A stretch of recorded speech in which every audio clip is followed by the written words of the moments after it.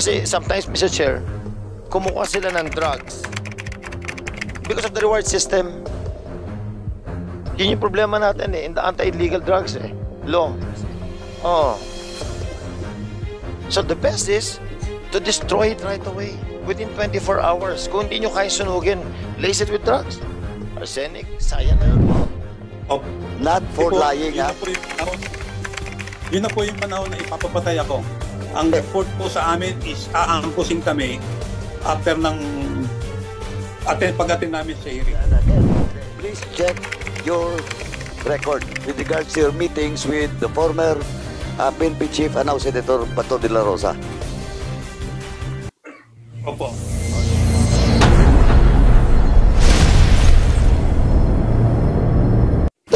uh, Colonel Asherto in his uh, presentation. Uh, as a matter of fact, Mr. Chair, I would just like also to know if Colonel Marcelino and a certain Mr. Guban is still alive or are still alive. Okay.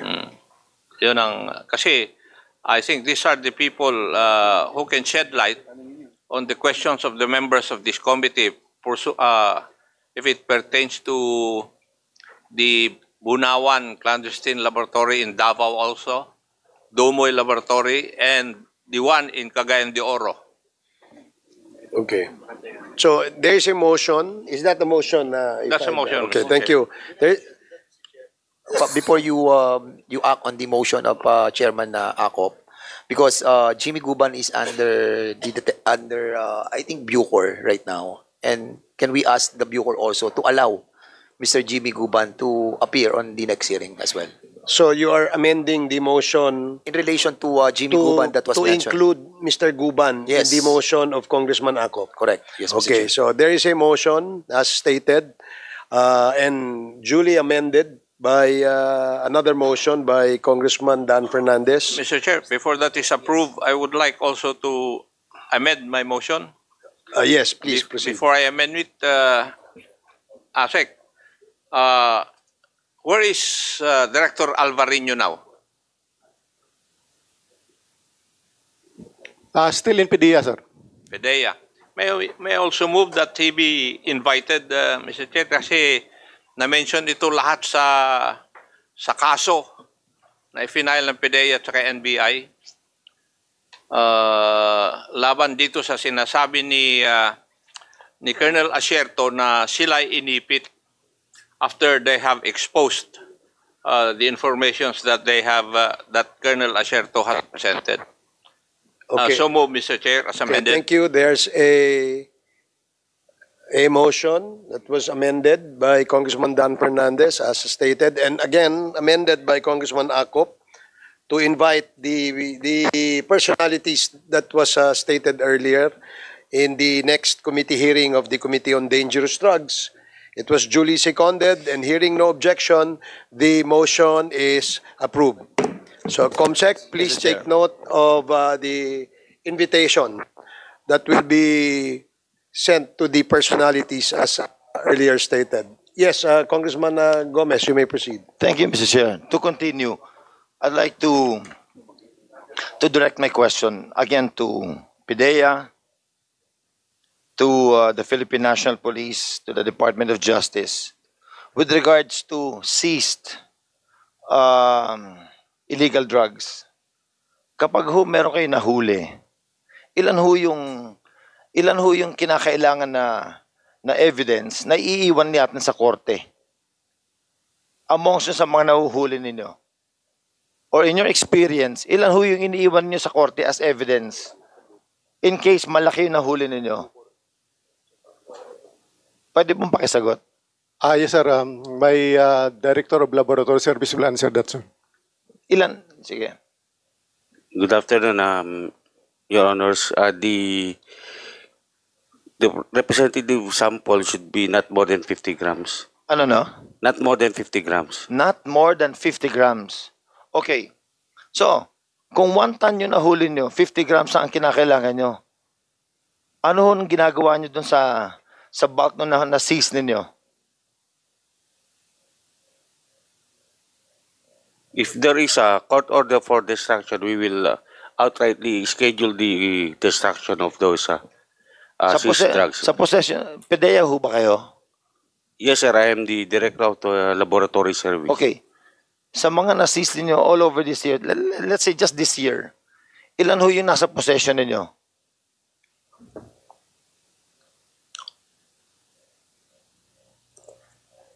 Kasi dapat wala.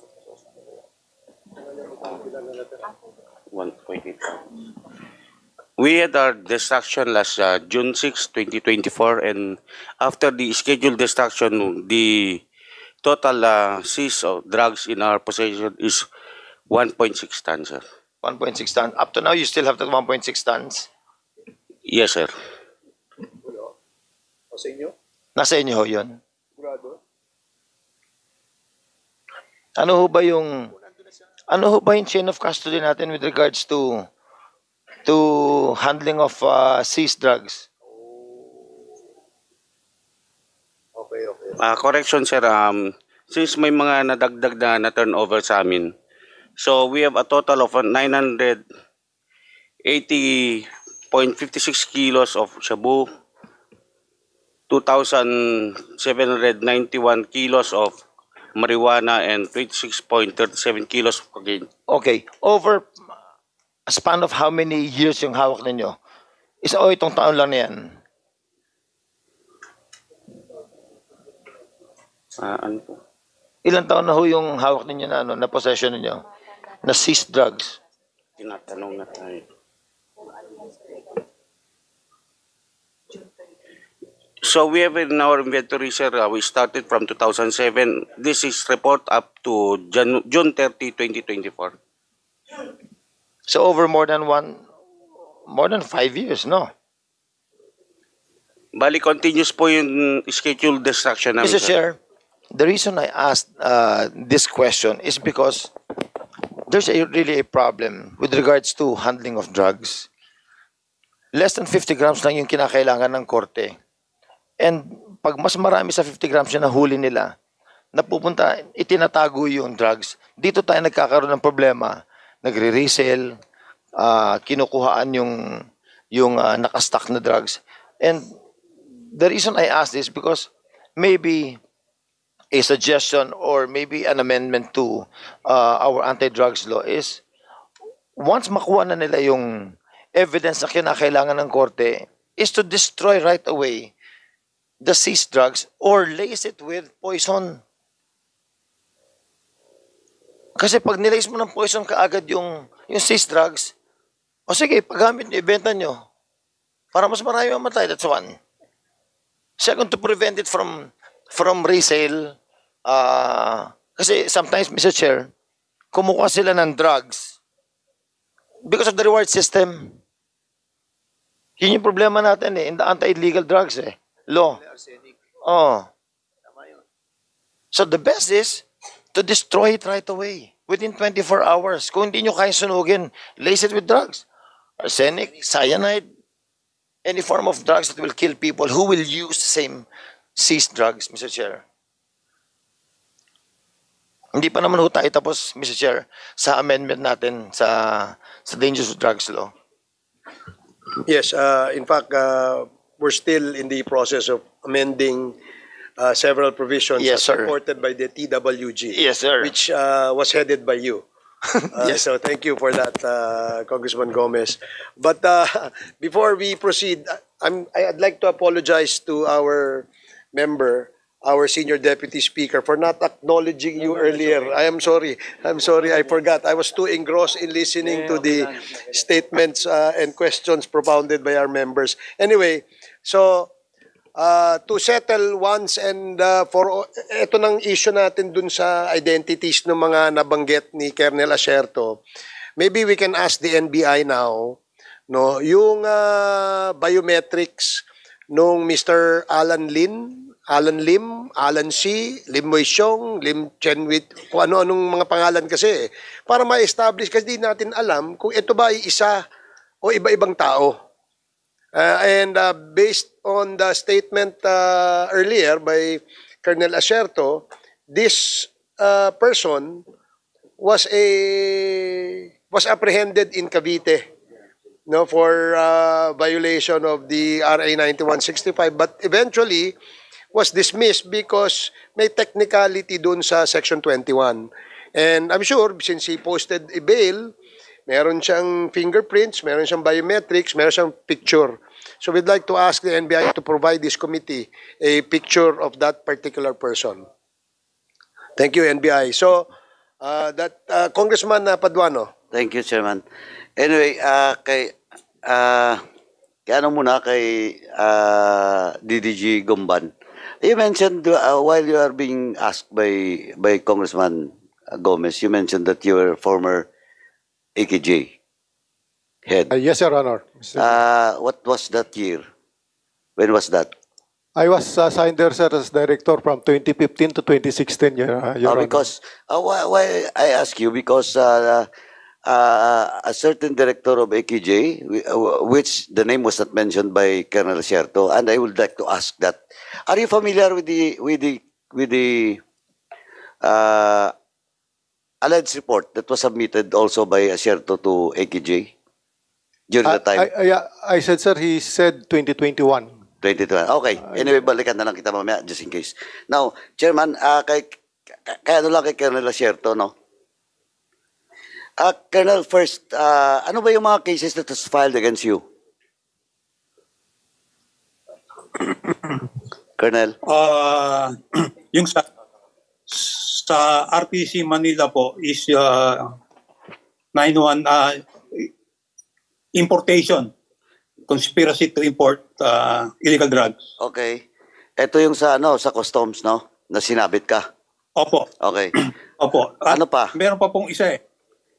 Yung sinama rin po ako ni alias Picoy doon sa kanyang kwentong sa kasong na yung uh, inciting to sedition. Because of that one, 1,000 AK-47.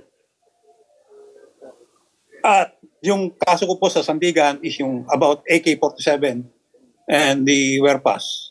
Ano yun? The same case yun? The same case? Separate po. Separate? Ito yung sa Sandigan, dalawang kaso po yun. Sandigan, dalawang kaso. Opo. Okay, what's the ta- status of the case now? Ah, katulad po ng sinabi ko kanina, wala pa akong communication at hindi ko po alam ang status. Dahil po nga ako ay nagtatago dahil sa panta ni Mr. Duterte. Ah, pasensya na po. Hindi ko po masagot yung inyong tanong tungkol sa Sandigan Bayan. Anyway, if if uh, this committee, through this committee, the the government will give you an assurance. Are you willing to to attend physically in this committee hearing? Opo. Thank you. At Ang least, sabi ko uh, nga po, Mr. Chairman, tumulong, on record, in record, uh, former Colonel, uh, police officer Colonel Reserto is willing, no? Is willing to physically attend for as long as uh, he will be assured of his safety and uh, the cases that was filed against him. Anyway, Mr. Chair, uh, to, just to, ano, just to uh, follow up those uh, questions that was raised by our colleagues. First, uh, is yung presentation mo ba kanina, is this the same uh, enter report that was submitted to all those persons that you mentioned. Especially, opo, isa lang. ito yon, ito yon lahat. report. And this is Opo. also the document Kaya that po. you have, and this is also the document Kaya that you have submitted to Senator Gordon, former Senator Gordon. Opo. Opo. Okay. Anyway, Mr. Chairman, just to be fair, no, to, uh, for this committee, uh, because the name of uh, the former senator was uh, was mentioned by by former police officer Asierto, and when in fact uh, he is accusing Senator Gordon that uh, upon submission of those documents, wala pong steps that was undertaken by the, then the chairman of the good government. Mr. Chairman, we, can we, will we invite uh, former Senator Gordon to be present in the next hearing? If, uh, if he's willing to participate in this investigation, Mr. Chairman. Yes, Mr. Chairman, that's a motion. Okay. uh, so, there is a motion to invite former Senator Dick Gordon to attend the the next scheduled committee hearing of this committee and uh, duly seconded and hearing no objection uh, the committee approves the motion so Mr. Chairman, why we should invite uh, Senator Gordon, former Senator Gordon, uh, just to fair to everybody, because our resource person now is accusing the chair, former chairman of the Blue Ribbon Committee in the Senate during his time. Now, second, uh, DG uh, Colonel Acierto, you mentioned about uh, you also submitted that entry report to uh, the EKJ, and you never mentioned the name or the officer during the time of the EKJ. Who is that uh, officer in the P- uh, PNP? Ah, wala po akong sinabing nag-submit ako ng report sa AKG. Ang sinabi ko po is, ah, meron po nakarating sa aking informasyon na iniimbestigahan ng AKG si Alan Lim alias Ayong. Okay, Yun so, po yung sinabi. so who is that uh, that time? Who is the head of the EKJ? Of course, not si, hindi naman siguro si former police officer na pwede uh, DDG Gumban. Sino po that time? Ah, kung pwede po, sabihin ko na lang po in private kasi ayoko po silang mad- madamay at ah, wala po akong otoridad na permiso na banggitin yung pangalan niya. And, uh, Mr. Uh, Kung pwede ko pong i-text sa inyo. Colonel Sierto, but you mentioned you mentioned the the the unit which is the AKJ. And of course, eh, siguro naman of course, sabi mo nga uh, you will not uh, divulge it in public. Maybe in uh, you communicate with the chairman or during the ano executive session in which you also committed to us that you will give us the identity of your informant. Tama po ba? Opo. Okay. Ibibigay ko po. Ibibigay ko po. Sa po ano. Sige, thank you. Now. Uh, you also mentioned about, uh, I think, uh, former General Al- Albayalde was already invited, no, in next hearing. How about, hindi pa. hindi pa. Now, you also mentioned about uh, General Albayalde.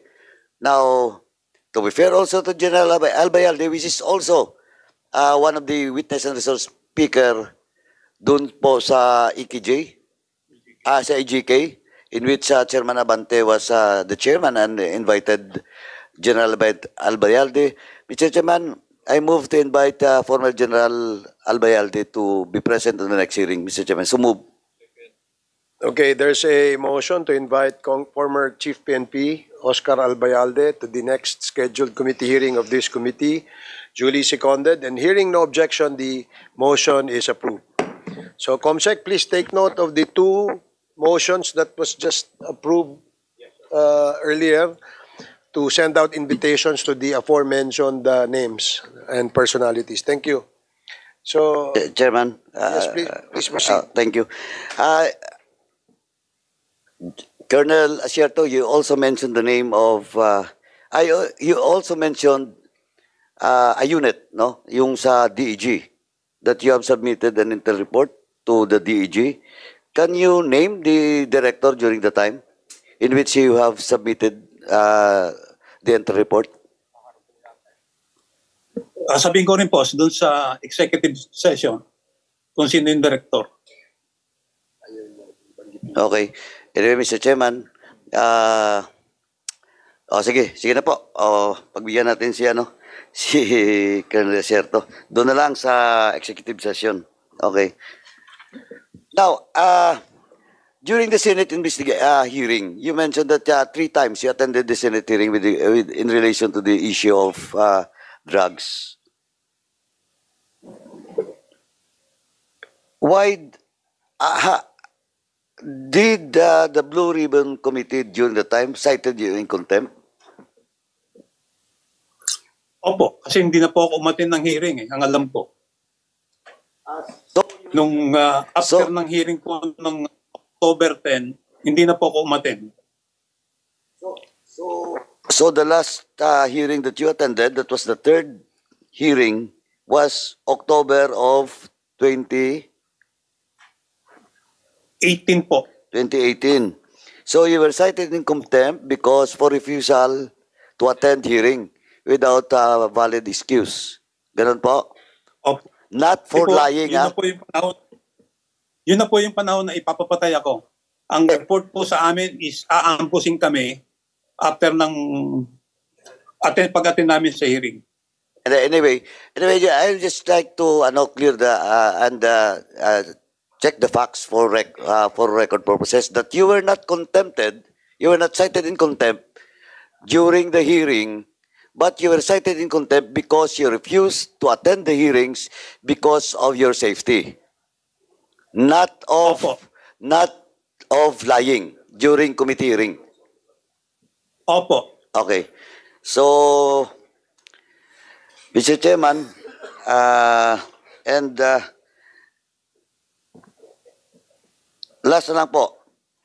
As you mentioned, uh, Senator Bongo and uh, former PNP Chief uh, Bato de la Rosa, na Senator Bato de la Rosa, may, may ano ba, physical conversation ka ba with them with regards to the entry report that you have submitted to all those persons that you have uh, divulged? Wala po. So you Wala never talked to, you were never given a chance to talk to Senator Bato. Opo. About about my report. Opo. Eh, pero nag-usap rin kayo. Nag-usap po kami nung ah, i-appoint na po ako as ah, Deputy Director ng AIDG at ng Drug Enforcement Group. When was that? Pero tungkol po dun sa report na ginawa ko, hindi po. When was that? Ah, last quarter of 2016, mga August po yata yan, o ano, hindi ko po matandaan eh. So, nung so second time po is, nung, nung second time is yung ah, i-create yung drug enforcement group. Uh, in-appoint niya ko, i- i- ah, kinausap niya ako para i-appoint as director pero hindi niya ako na-appoint. Ang ginawa niya, ginawa niya akong deputy director for admin ng DEG. okay, so but but uh, that meeting uh, physical meeting with uh, the former PNP chief and now Senator Bato happens before the committee the the entry report. Yes, yung completion po ng report. Ah, ano muna, ah, uh, na siyerto. Ah, i-check mo muna. Check mo muna yung, yung recollection mo dun sa mga dates ha. Ah, ah, Mr. Chairman, as of now, I will not ah, put you in a situation na baka magka-problema tayo. Ikaw, no? Because you're under oath.